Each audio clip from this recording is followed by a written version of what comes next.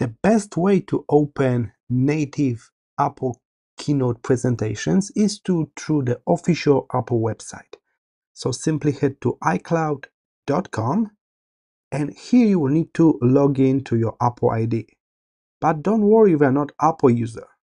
It's a free account you can create. So you can sign in if you got account or you can create a brand new account. If you are not Apple user, there's a create Apple ID button over here.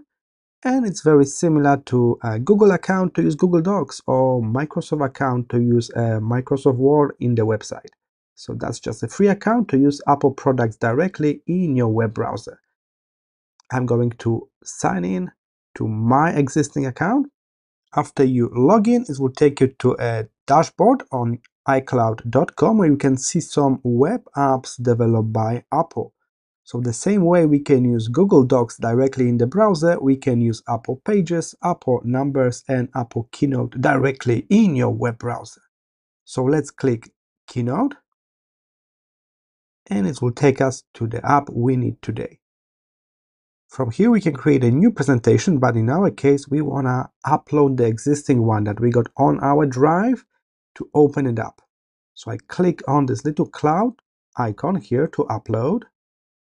As you can see, my presentation is loading right now. And with this check mark, I'm ready to open it up. So just double tap on it and it should open in the new tab on your web browser even if you are on Windows, even if you are on a Chromebook, doesn't matter. It's all in the web browser through the official Apple website. And here it is, you can make changes to it directly here. So you can edit that for free using this iCloud Keynote.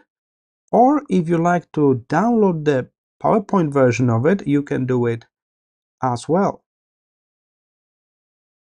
So if you click those three dots here and you want to download a copy to your local machine, you will have three options, native Keynote, PDF, or PowerPoint. If you plan to continue editing it, I recommend PowerPoint. PDF is perfect for printing it out.